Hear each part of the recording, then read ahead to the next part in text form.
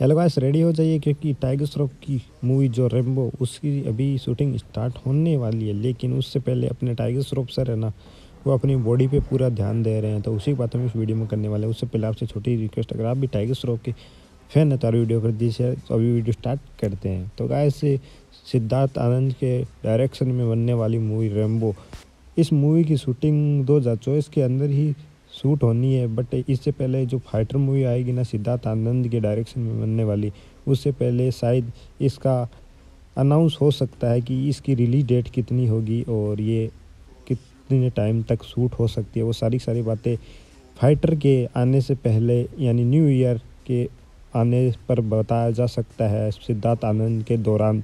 तो टाइगर श्रॉफ उस मूवी के लिए नहीं, बल्कि अपनी रेम्बो के लिए यार, अपनी बॉडी पे काम कर रहे हैं। तो काफ़ी एक्सपेक्ट है हमको कि ये रेम्बो मूवी है ना, काफ़ी बवाल टाइप की होने वाली है। एक्शन थ्रिलर खूब खून धड़ाका वाली मूवी होने वाली है। तो आप कितने ज़्यादा एक्साइटेड हैं टाइगर की रेम्बो मूवी के लिए? वो मुझे कमेंट सेक्शन में अपने जो भी ओपिनियन वो देना मत भूलिएगा। तब तक लिए टेक के लिए जय जय भारत, जय माता दी।